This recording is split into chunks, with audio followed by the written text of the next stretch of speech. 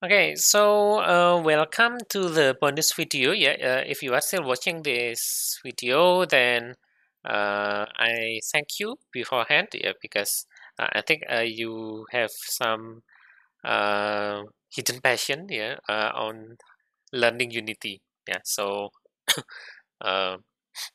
let's continue here. Yeah, so for example, I have created a prefab of my particle system. Yeah, I will just reinstantiate it here. Yeah, so uh, I want to explode my projectiles when it hit this uh, long panel. Yeah, this is, uh, I assume it as a ground. Then if you re remember from our previous uh, course, yeah, uh, we have already given the ability for the players to shoot uh, projectiles from the Uh, when the projectile hits this ground, then uh, I will create this explosion. Yeah. Uh, you can create your own explosion uh, if you want, or if you uh, want to follow along, then this is my settings. Yeah. Uh, my duration is only a half of a second, and then the start lifetime also a half of second. Start speed of 20, start size of 8, gravity modifier of 4 and then uh, max particles uh, you can just leave it uh, 1000 but if you want you can reduce it. Yeah because uh, after I have experimented uh, my particles uh, number is less than 20 yeah so if you want you can reduce this to only 30 or even 20 stop action still destroy the emission is uh, 30, but as you can see, uh, the maximum number of particles is only 20. So I think I will also reduce this to 20. Oh, uh, it creates uh, less particles now. So, okay, I leave it for 30. And then the shape is sphere with no change to uh, any properties here. Color over lifetime, something like this. Yeah, uh, I have not modified my alpha, but my color is uh, something like this in the 0, and then 50, and 100. My size over lifetime, uh, I use a simple a linear curve, yeah, decreasing curve from 1 to 0 yeah so that's uh, my settings. Uh, let me check again my uh, prefab here. Okay so my changes are only applied to uh, this game object yeah not the prefab itself. Okay let me check it um, for a while make sure that everything is correct. Okay yeah uh, I'm satisfied with this explosion effect yeah uh, remember to create the prefab uh, you can just simply drag the game object or the particle system from your hierarchy uh, onto the assets. Yeah here uh, I have created a new folder uh, effects. So uh, all of my particle systems will be stored here in the effects folder yeah I will delete this game object because I, I have already created the uh, prefab. And then let's say okay uh, I will remove this uh, script first. Yeah uh, it is no longer used for me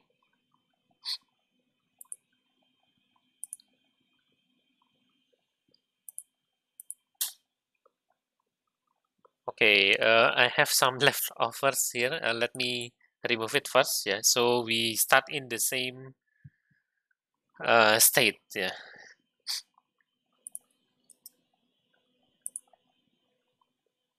Okay, I think that's all. Yeah. Uh, so far we have five scripts. Yeah, the car movement, uh, the move itself, the projectile, shoot, and the tree generator. Yeah. Uh, we will modify the projectile script. Yeah so that when it collides with this ground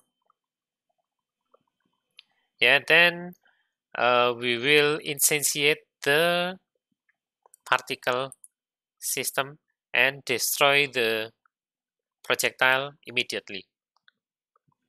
Yeah okay so uh, please open your projectile script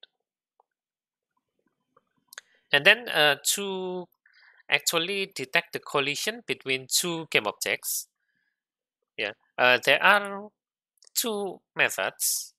Yeah the first one is called on trigger enter. And the second one is called on collision enter. Yeah basically uh, these two methods detect uh, if this game object collide with other here here but uh, there are uh, a basic different difference between on trigger enter and collision enter. Yeah so uh, what is the difference? Uh, let's take a look at our projectile which is the projectile uh, prefab here. And then take a look at the sphere collider component yeah. For for other game objects uh, maybe it's not sphere collider yeah. So for example here uh, in cube it is called a box collider. For cylinder it is called a capsule collider yeah. Uh, at least the name is collider yeah. Please check the collider component and then check uh, whether or not it is a trigger or yeah. So uh, if uh, any of the object is actually a trigger yeah which uh, specified in the collider component and its trigger is on then the on trigger enter will be invoked. Yeah. But if uh, none of them are triggers then on collision enter will be invoked instead yeah so uh, there is the basic difference between on trigger enter and collision enter yeah. It depends on the is trigger property on the collider. Okay? Uh, because my projectile is or has the is trigger property on so I will use on trigger enter instead yeah uh, and I will check for the other game object here yeah which collides with my projectile. Uh, I will simply check the name of my of the other uh, collider yeah. If the name is ground then uh, I will instantiate the explosion yeah and immediately destroy my projectile yeah. Okay let's do that so uh, I will check here. If other dot game object dot name is equals with ground I will uh, instantiate the particle system or particle effect yeah if you wish and then destroy this game object. Yeah to destroy this game object immediately just call destroy game object. Yeah uh, to instantiate the particle system. Just use uh, instantiate. Yeah but as you may have recalled uh, the first argument needs or requires the game object or or the prefab yeah. So here uh, let's add another public field. Yeah but this time uh, instead of game object we will just use a particle system instead. Explosion uh, explosion prefab or explosion uh, particle system. Yeah uh, I will simply call it uh, explosion yeah or maybe explosion particle system. Oops sorry. Yeah I will call it explosion particle system. So uh, if I want to instantiate it then use the very same uh, principle from instantiating the projectile. Yeah. The first argument is the explosion particle system uh, at which position yeah where uh, this dot transform dot position yeah or you can just omit this. And then uh, using word rotation uh, you can simply use quaternion dot identity because uh, we don't want for the explosion particle system to be rotated yeah. Although uh, my particle system is actually sphere yeah uh, it does not resemble any effect if you rotate uh, any sphere. So I will leave it to quaternion dot identity instead. Okay then save this script. Uh, wait for the unity to compile and then modify your uh, projectile prefab here. Yeah because at the projectile script we need to uh, specify the explosion particle system. Okay uh, if you uh, have uh, difficulty to uh, specify this by dragging you can instead click here yeah at the small circle at the right hand side of uh, the property.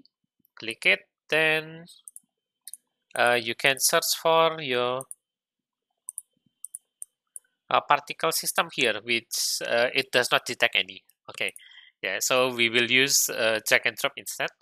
Uh, we can also open the prefab yeah uh, momentarily then uh, we can drag and drop this explosion uh, particle system to here.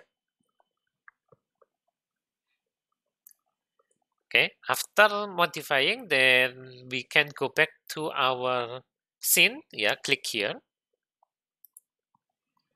And that's all. Uh, I will save my uh, scene first then let's try it. Okay uh, I want to move my car here uh, and then let's try uh, clicking here. Now as you can see uh, when uh, my projectile hits the ground yeah it will disappear and be replaced by the explosion particle system instead.